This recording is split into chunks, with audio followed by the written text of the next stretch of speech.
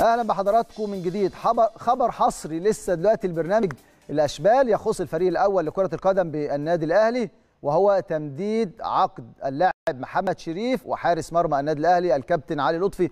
زي ما إحنا شايفين دلوقتي الأهلي يمدد عقدي محمد شريف وعلي لطفي. محمد شريف لاعب كبير وعلي لطفي كمان حارس مرمى كبير في الوقت الصعب اللي بيكون بيشارك فيه مع النادي الأهلي بيسد ما شاء الله عندنا يعني ما عندناش محمد الشناوي بس عندنا الشناوي وعلي لطفي وكمان مصطفى الشوبير محمد شريف ما شاء الله.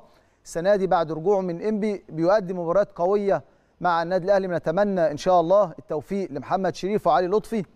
وهو ده الاستقرار اللي بيتم داخل النادي الأهلي. نتمنى لهم إن شاء الله التوفيق في الدوري وكمان في بطولة كأس العالم للأندية القادمة.